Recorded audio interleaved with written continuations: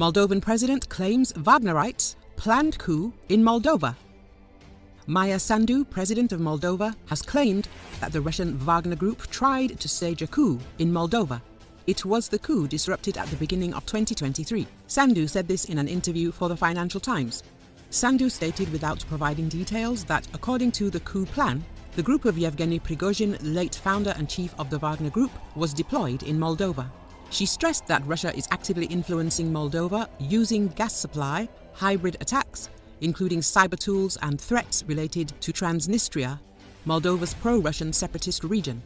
Russia is going to increase its pressure on Moldova. They tried energy and they failed. They tried to overthrow the government and they failed.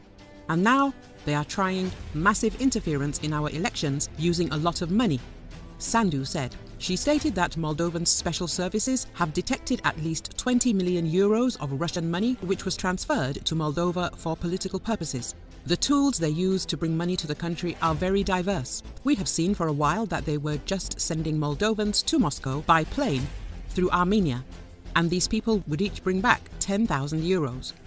We've seen recently that they were bringing cards, bank cards, that were issued in Dubai, the president explained. Russia has been pressuring Moldova since the beginning of Sandu's presidency in 2020 because it is not satisfied with her pro-Western position and her intent to achieve EU membership for Moldova.